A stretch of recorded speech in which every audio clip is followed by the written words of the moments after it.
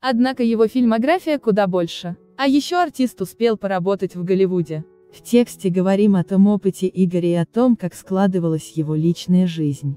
Чтобы повысить свой профессиональный уровень, Игорь Жижикин поступил в театральную школу в Неваде. Он там учился два года. В 2000 году у артиста начался творческий взлет. В Лос-Анджелесе он стал давать мастер-классы по сценической пластике и актерскому мастерству. Там он познакомился со своим будущим агентом.